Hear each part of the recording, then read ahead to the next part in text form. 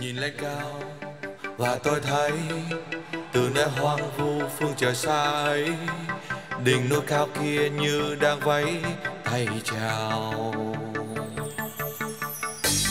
Đường tôi đi còn xa lắm, còn bao hoang mang ưu phiền lo lắng, còn trong thâm tâm mang theo những nghi ngờ. Và con đường kia quá dài và đón chân ta quá ngày. Chẳng biết ngày mai thế nào, ra sao. Vì cuộc sống đâu là dễ dàng, và những khó khăn còn vô vàng để thử thách ta lòng vững vàng, để gạt đi những hoang mang. Vì lòng quyết tâm còn vô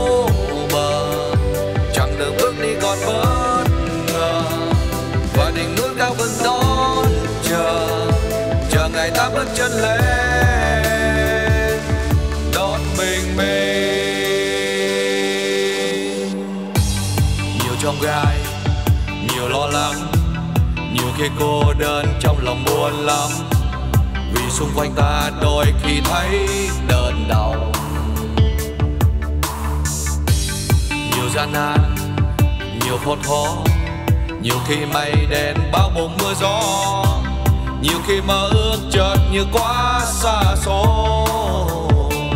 Và con đường kia quá dài, và đôi chân ta quá ngại.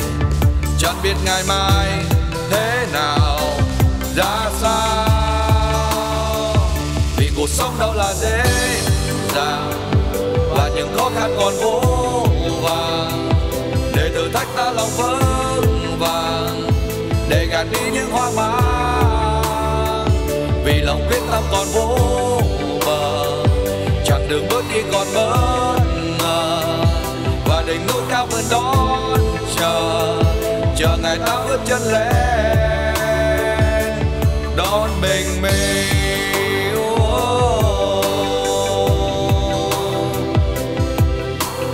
Nếu như có đôi lúc ta thấy giấc mơ này chợt như quá xa, hãy cố gắng nhớ đến lý do mà ta bắt đầu vì cuộc sống đâu là dễ dàng, và những khó khăn còn vô vàng để thử thách ta lòng vỡ.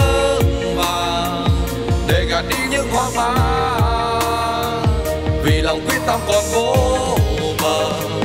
Chẳng đường bước đi còn bất ngờ. Và để ngôi cao vẫn đón chờ.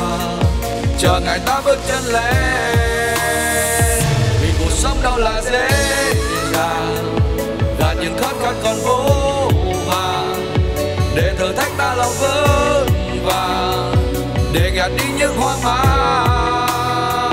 Vì lòng quyết tâm còn vô đường bước đi còn bất ngờ. Và đỉnh núi cao vẫn đón chờ chờ ngày ta bước chân lên.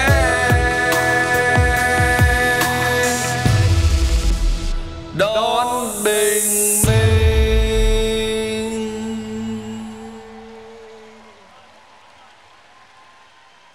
Một tràng vỗ tay thật lớn cho món quà của Diamond Lâm Hưng để dành cho tất cả chúng ta.